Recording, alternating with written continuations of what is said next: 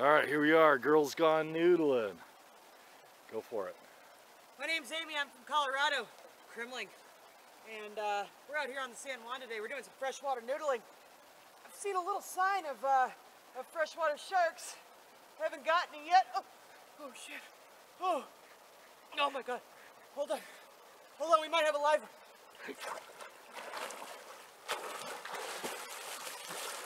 Oh shit!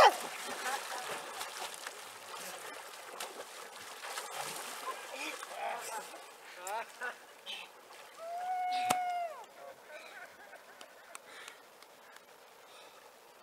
a little bit different here than it is in Colorado.